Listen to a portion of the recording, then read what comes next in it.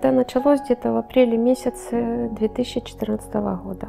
Начались обстрелы. И э, несколько домов у нас пострадало. То есть снаряды попали э, в жилые дома. В 2015 году, это было 10 февраля, был обычный день. И Владик созвонился со своими одноклассниками, с мальчиками, решили выйти просто погулять. Потом, ну, все жители города, и мы, конечно, услышали страшный звук. Мобильная связь прервалась, получается.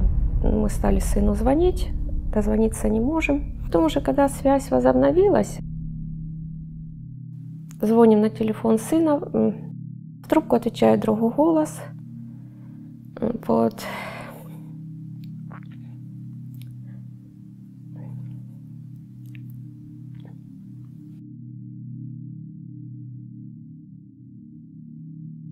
Ну и там говорят, вас, ваш сын ранен. Получается, когда дети гуляли, в этом месте как раз пролетали снаряды эти, и приехала скорая, вот, привезли в больницу, сразу оперировали. У нашего сына получилось сквозное осколочное ранение правого бедра. Четыре операции было у ребенка.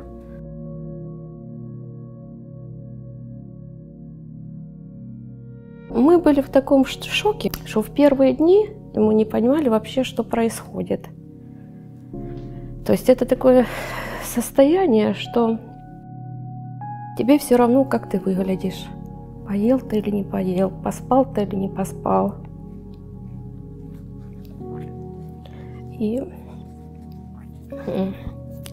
как вот такое чувство просто находиться рядом с ребенком после этого ранения. Мы заметили, что ребенок стал немножко по-другому мыслить и, и ценить вот именно жизнь человека. Что в любую минуту с ним может произойти все что угодно, да? И как бы человек должен успеть все, что он хотел как бы сделать. Самое страшное, я уже как бы говорила, что может произойти в жизни человека, это война. Это боль близких, потеря близких.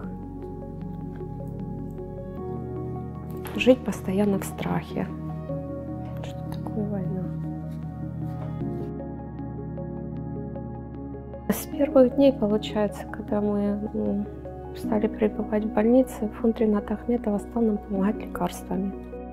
То есть как бы мы не, не сам на сам остались. Лекарства все дорогостоящие были. Также помощи психолога.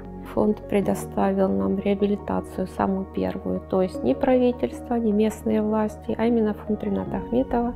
И в последующие годы тоже каждый год, получается, фонд Рената Ахметова предоставлял нам реабилитацию. То есть без внимания их мы не оставались. Огромное спасибо Ренату Леонидовичу за эту помощь, потому что наша семья бы не могла ребенку сама предоставить такие дорогостоящие путевки для реабилитации. Так что мы ему очень благодарны.